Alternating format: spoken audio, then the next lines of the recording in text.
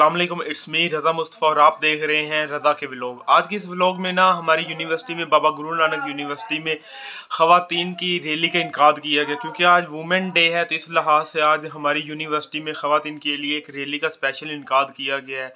और आज के इस व्लॉग में हम उस रैली को, पूरे रैली को कवर करेंगे। तो आए चल, बने रहिए मेरे साथ।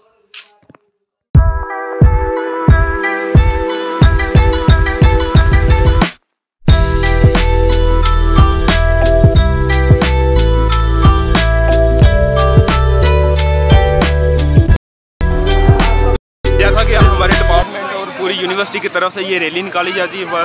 वूमेन इंटरनेशनल वूमेन डे पे ये रैली निकाली जा रही है, जिसमें तमाम सर स्टूडेंट्स और टीचर्स हजरात आए हुए हैं।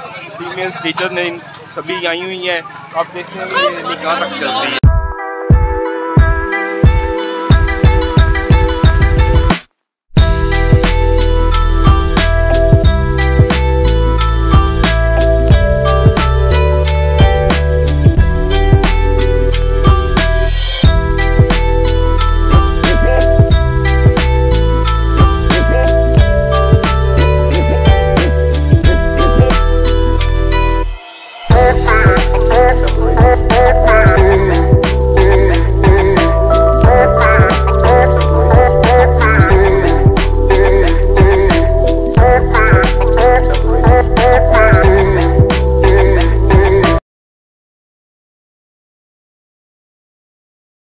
को एक्नॉलेज करना चाहिए, ना सिर्फ़ एक्नॉलेज करना चाहिए, बल्कि इम्प्लीमेंट करवाना चाहिए। फॉर इंस्टेंस जो वुमेन के प्रॉपर्टी राइट्स हैं, उनको आजकल नहीं ऑब्ज़र्व किया जाता तो उनके प्रॉपर्टी राइट्स होने चाहिए, उनको अच्छी एजुकेशन उनको अच्छी हेल्थ की फैसिलिटीज़ देनी चाहिए, उनकी जितनी भी बेसिक नीड्स हैं, उनका ख्याल रखना चाहिए। क्योंकि ख़वान हमारी सोसाइटी का मोर देन हाफ़ जो है पोर्शन वो क्रिएट करती हैं।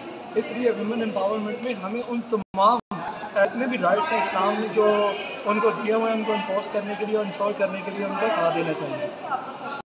आज बाबा गुरु नानक यूनिवर्सिटी में हमने वुमेंस डे सेलिब्रेट किया है, क्योंकि यहाँ पर हमारे पास स्टूडेंट्स की एक बड़ी तादाद जो है, हमारी फीमेल स्टूडेंट्स हैं और उनकी भरपूर पार्टिसिपेशन है। लाइफ के हर फ़ील्ड के अंदर तो उसी को, उसी की इंक्रेजमेंट के लिए हमने वुमेन डे सेलिब्रेट किया है।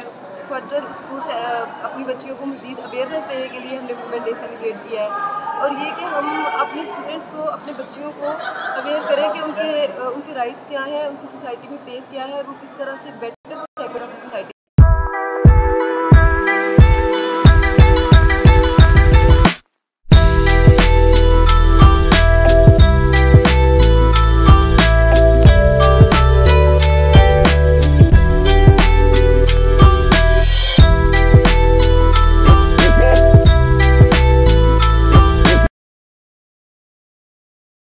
psychology student के जितने भी ये स्टूडेंट्स हैं वो भी यहाँ पे मौजूद हैं। साइकोलॉजी स्टूडेंट की फ़ीमेल्स मेल्स इस रैली का उन्होंने ज्वाइन किया हुआ है। देखते हैं ये रैली आज कितनी पुरवकार और कितना सारे इंजॉय कर रहे हैं इस चीज़ को।